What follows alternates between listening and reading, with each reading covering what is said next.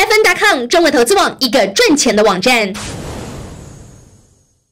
观众朋友们，大家好，欢迎来到 CNX 每周华尔街节目。该节目由中文投资网和凤凰卫视独家冠名播出。首先，我们要来关注一下本周美股的走势。在周一的时候呢，我们看到美股三大指数出现了大幅度的上涨，其中纳斯达克指数涨幅超过百分之三，标普和道指呢两个指数涨幅均超过百分之二，是近期非常大幅度的一个反弹。而且道指呢创下了历史第三高的一个涨幅，可以说整体上市场的向上推动情绪非常强。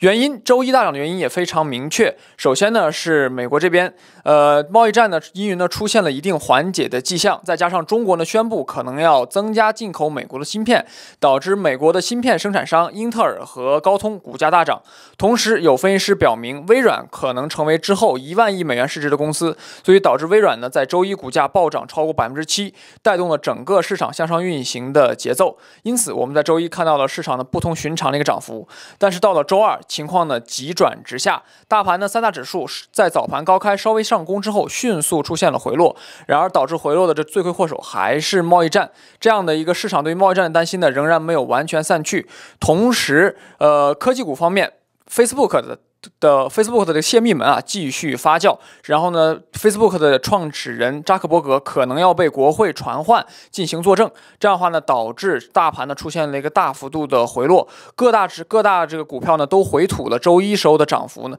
反而在周二呢呈现了一个大幅度的跌幅，这样呢，我们就在周二看到了一个市场整体下跌最后的结局。到周三，市场呢则呈现了大幅波动的一个走势，并没有明确的方向性的判断，主要压力呢则是来自于。亚马逊，特朗普呢突然宣布，他对亚马逊开始非常的感兴趣，并且呢要针对亚马逊等电商平台进行税收方面的检查。这样的话呢，是导致亚马逊在早盘时候一度下跌超过百分之七，跌破了一千四百美元。整个科技股呢再度引领市场的向下运行，而且在周三的时候呢，市场的波动幅度也创下了一个新高，其中一分钟的这个涨标普一分钟的涨幅幅度就有可能和二零一七年年末时候一天的涨幅相等。这样的话呢是，市场呢实际上是出现了一个等待方向选择的情况。到了周四，市场的话呢，目前为止呢在盘中出现了较强的反弹，但是反弹力度还不如周一。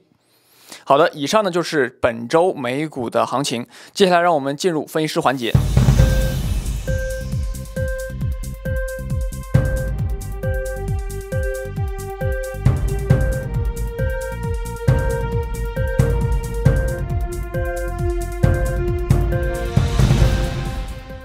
回来。接下来呢，最重要的一个环节呢，就是我们美股网红达人的这样的一个分析节目了。但是呢，在看收看这个节目之前，我们要先看一下本周的分析师收益率龙虎榜。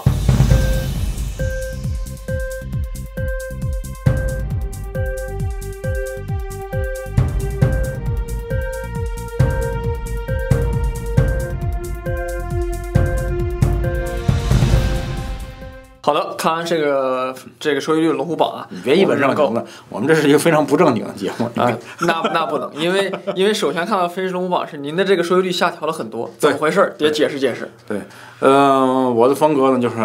这个大干快上啊，是呃，然后呢全仓杀进是吧？呃，全仓啊，但是呢有一个大的方向就是赚钱的时候我要玩命赚，嗯啊，玩命赚，多赚，玩命赚。嗯，然后呢，呃，以对抗风险，因为你。呃，有钱了才能谈及对抗风险，是也没钱呢，就谈什么都是枉然。嗯，所以呢，在顺风顺水的时候呢，我会多赚，呃，然后给自己留出一个比较大的跑动空间。空间是。然后当大盘不好的时候呢，我可能就哦再看看，我要再看看，我要等一个更确定性的东西，更确定性的目标。虽然在整个这个过程当中呢，我可能收益率现在一万多没了，嗯，但是呢。呃，给我自己一个比较确定性的一个交易的呃信号，是毫不犹豫，对，该止损该走就走。因为这周是我们能够看到大盘实际上出现了一个剧烈的震荡，周一大涨，周二狂跌，然后周周三的周三的行情呢又一般。今天其实周四的话，行情虽然说有小幅反弹，但是力度到目前为止不太充足。没错，没错。那么在这种情况下的话，您是不是可能要考虑大盘有下行的压力？是的，嗯，因为今天的话呢是三月份的最后一个交易日，是。那么是周线最后一天，啊，月线最后一天，嗯，而且呢是二零一八年的第一个季度的最后一天，嗯，而总体上来说，从这三个交易级别上来看，都是收在了相对的低点吧。嗯啊，现在目前在我们录制节目啊，在相对的低价位区间，所以总体上来看的话，我觉得从这三个交易级别来说，非常的不乐观，非常的不乐观。嗯，那也就是说，到现在这个情况的话，就像我们的这个美股网红达人直播 VIP 里面，嗯那很多会会员朋友也在讨论这个问题。那么这个时候，您觉得有什么样的建议给我们这些投资朋友，或者说给我们换朋友也讲一讲？就是说，在这种情况下，大家心里都很焦躁，尤其是这么一个震动。今最近呢，我在这个我们自己的平台上也看到了，大家的这个心态啊，开始逐渐的有心态所谓心态崩了这样的情况出现。怎么样才能稳定住下来？大家这两天都有亏钱，对，买亏卖也亏，这时候应该怎么办？嗯，现在的话，呃，很多朋友面对这个，这就是咱们下一下一次，呃，做多行情的时候，一定要多赚多赚多赚，这是第一个策略。然后第二个策略呢，像我下一步要做的动作，嗯，可能我会从股市当中抽离一部分资金，嗯，那么第一把成本拿出去，第二把一部分利润拿出去，嗯，然后拿出去之后的话呢，那么我们就改成了游击战了啊，嗯小股部队游击战。那么，呃，尽量的做顺势品种。如果大盘向下，嗯，呃，跌的话，我们可能会做呃反向指标或者说恐慌性指标这类的产品。然后呢，呃，这个短打、快跑啊，这个以这种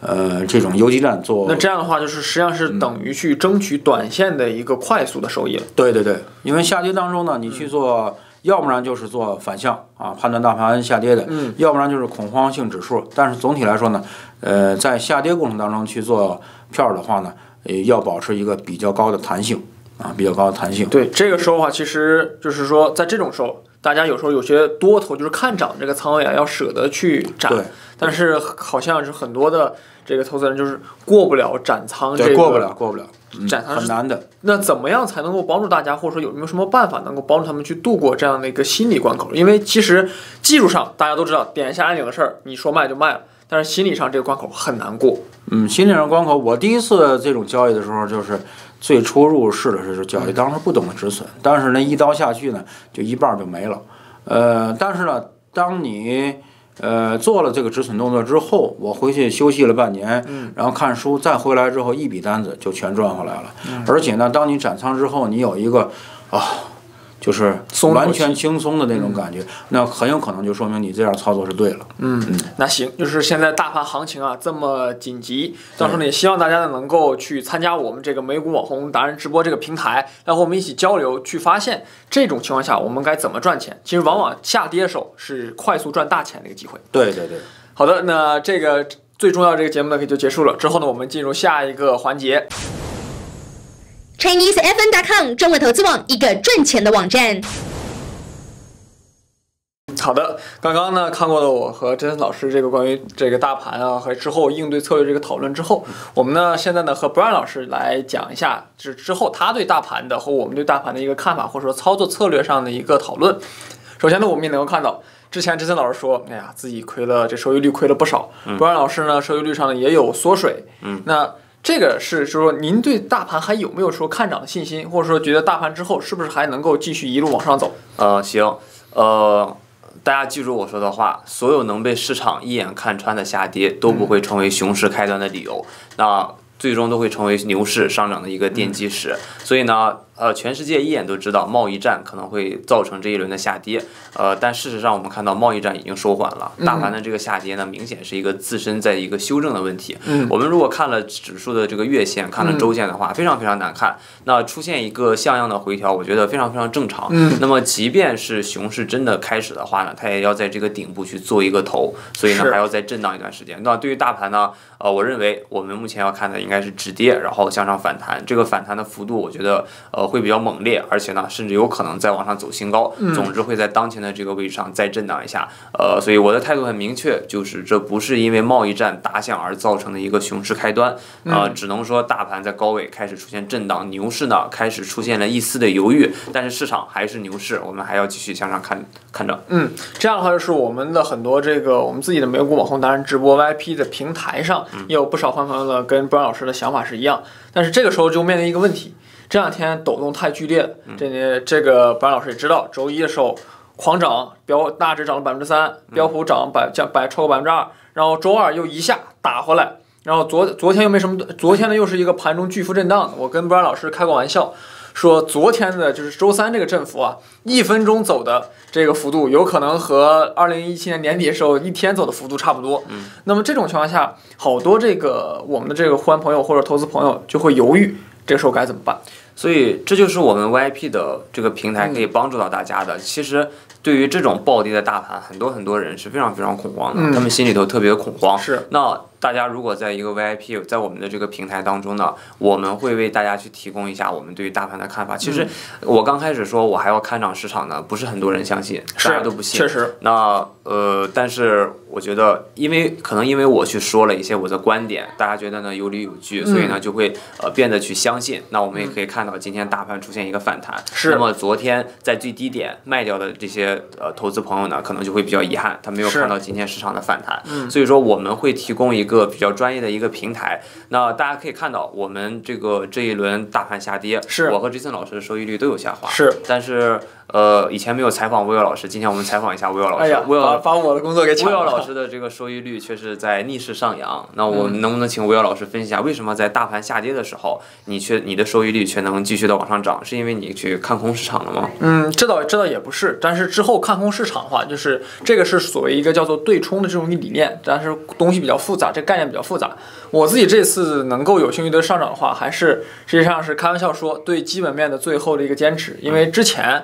通过基本面选了选股选出来一只股票。那这个拿了半年，这个我们老师都知道，拿了足足半年。之前因为业绩往上涨了一波，结果在这轮下跌过程中，正因为它基本面良好，所以说呢，其他股票都在跌，它都在涨，甚至就有会员朋友跟我说，